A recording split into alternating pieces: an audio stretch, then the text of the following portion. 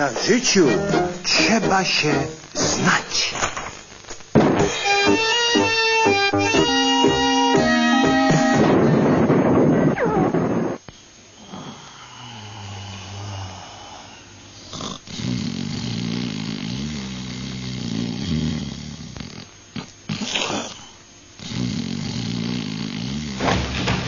Irka, Irka, kurczę, wiesz co?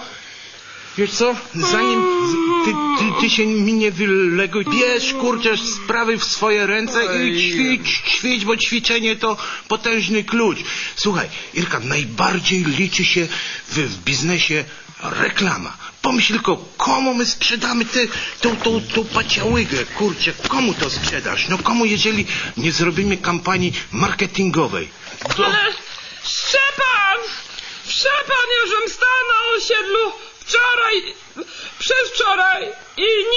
nie kupił ani porcji bigosu. A wiesz co ci powiem? Bo nikt z ludzi nie wie, co jest dobre. Chcesz łygę bigosu? Nie, jadłam cały miesiąc. No, no to kurczę, bierz i trenuj.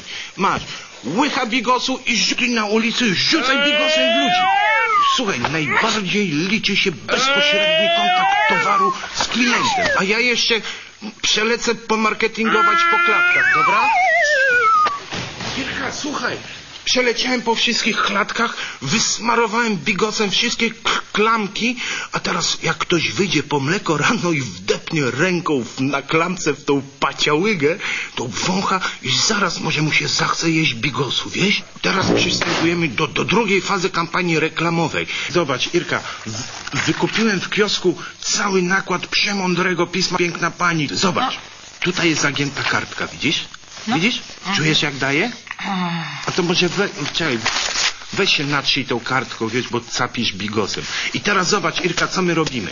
My między siódmą a ósmą kartką, co robimy? Łyżkę bigosu ciach, na kartkę, zaginamy, przyklepać i druga kartka, drugi nakład, bigos między kartki. I lecę z, z, z wanienką y, na ulicę.